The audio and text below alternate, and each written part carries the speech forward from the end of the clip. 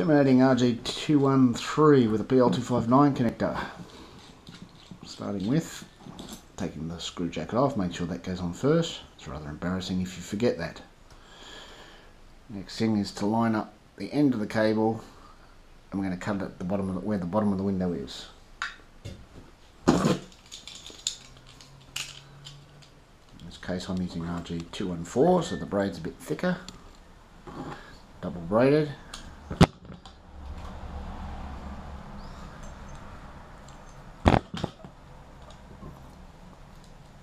Jacket comes off, the inner core comes off,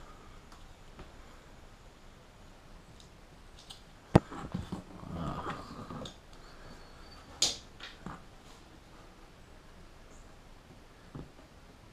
Next is to strip the jacket where the skirt ends.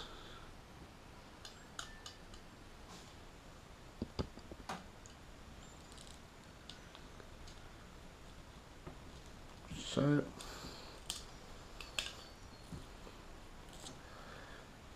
now we have something that's ready. Now on RG213 you can just fold this outer braid jacket back. But on RG214 you can see we've got double braid, silver plated. So it's a bit of a pain in the butt. So here's one I've prepared earlier. Now it looks a bit daggy there but you can see how it's going to go inside the connector. Pretty straightforward.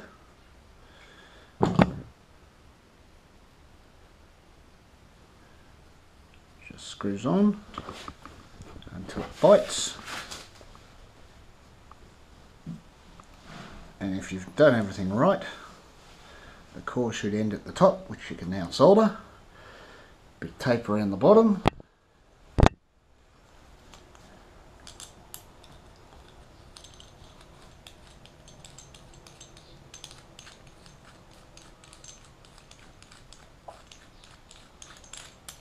Done. Some tape around there now. Keep it waterproof. Keep it tight.